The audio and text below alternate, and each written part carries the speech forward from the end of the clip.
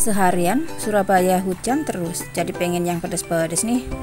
Kebetulan di rumah ada sisa kerupuk. Bagaimana kalau tak bikin seblak kerupuk ala Babang Rafael?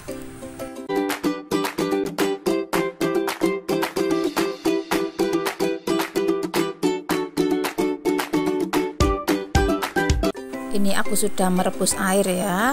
Dan ini kerupukku sisa segini aja, jadi mau tak rebus semuanya dan sambil menunggu kerupuknya mateng aku mau siapin sambelnya di sini aku pakai bawang putih satu siung kencur 1 cm cabai rawitnya aku pakai 7 buah aja ya. Terus jangan lupa garam dan kaldu bubuk secukupnya. Nanti dikoreksi rasa aja. Kalau sekiranya kurang tinggal ditambahin ya lanjut ini mau aku ulek aja ya karena bumbunya kan cuma sedikit. Mubazir kalau pakai blender ya kan? Nah kalau sudah halus ini lanjut mau aku siram pakai minyak panas ya.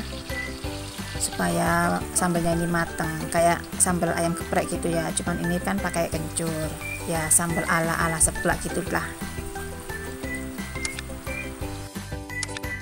sambalnya sudah beres sekarang kita tengok kerupuknya ya. Ini kerupuknya sudah mateng ya. Kalau kalian mau nambah kematangan lagi nggak apa-apa. Tapi kalau aku sih segini udah cukup ya. Nah ini mau aku tiriskan dahulu. Nah kalau sudah ditiriskan tinggal dicampurkan aja ke sambelnya. Nah kayak gini. Lalu dicampur ya diublek-ublek biar merata semuanya kena bumbu. Ini sisa bumbunya yang nempel-nempelin nanti tak bersihkan ya. Nah simple banget kan?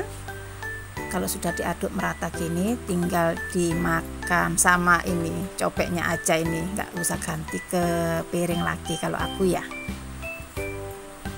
ini aromanya sudah menyeruak ini. Wadidaw menohok sekali. Mantep guys. Adem-adem makan sing pedes-pedes.